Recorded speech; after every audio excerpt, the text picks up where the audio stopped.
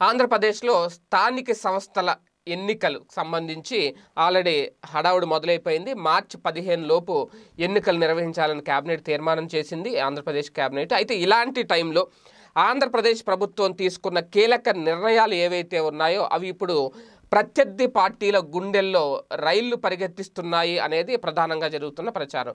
ఎందుకంటే జగన్మోహన్ రెడ్డి గారు ఎందుకు ఇంత డేర్ స్టెప్ వేశారు?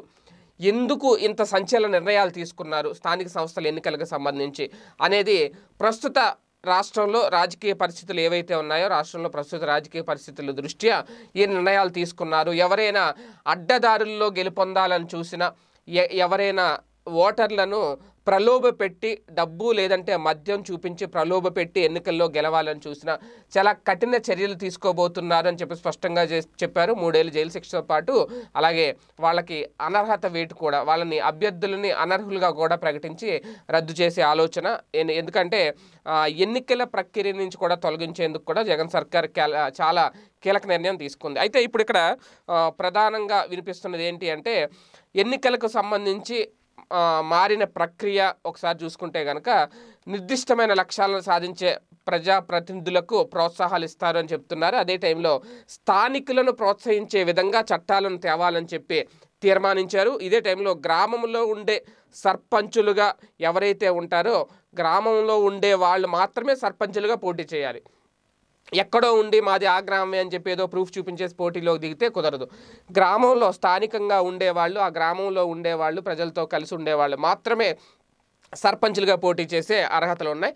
వంద శాతం గిరిజన జనాభా ఉన్న దగ్గర కేవలం గిరిజనులు మాత్రమే పోటీ చేసేలా మార్పులు చేశారు. అదే టైంలో మార్పులు చేశారు. పంచాయతీరాజ్ చట్ట సవరణ ద్వారా ఎన్నికల్లో డబ్బు లేదా మద్యం ప్రలోభాలకు ఏమన్నా తగ్గించేందుకు కూడా కఠిన నిర్ణయాలు అమలు చేయబోతున్నారు. ఓటర్లను ప్రలోభాలకు గురి చేసే వారిని అనర్హులుగా ప్రకటిస్తామని కూడా ఆల్రెడీ పెద్దిరెడ్డి రామచంద్రరెడ్డి గారు చెప్పడం జరిగింది. మంత్రి ఒకవేళ ఎవరైనా డబ్బు మద్యం ఎరవేస్తే వాళ్ళని వెంటనే ఎన్నికల నుంచి బహిష్కరించబోతున్నారు.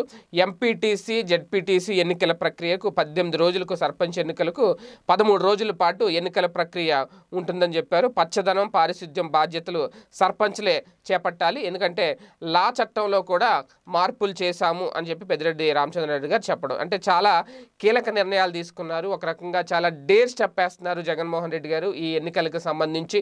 ఇన్ని కఠినమైన నిర్ణయాలు అమలు చేస్తే ఎందుకంటే ఈ నిర్ణయాలు ఒక ప్రత్యర్థి పార్టీలకో విపక్షాలకో పరిమితం కావు కదా. అందరికీ పరిమితం అవుతాయి. అంటే అందరికీ వర్తిస్తాయి. అంటే అధికార పార్టీ నాయకులకి వర్తిస్తాయి ప్రతిపక్షాలకి వర్తిస్తాయి అందరికీ వర్తిస్తాయి.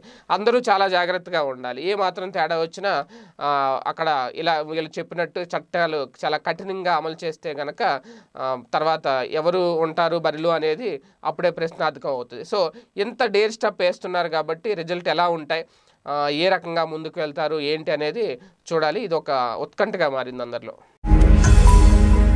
ఈ వీడియో గనుక మీకు నచ్చినట్లయితే లైక్ చేయండి షేర్ చేయండి. మరిన్ని వీడియోస్ కోసం మా ఛానల్ను సబ్స్క్రైబ్ చేయండి.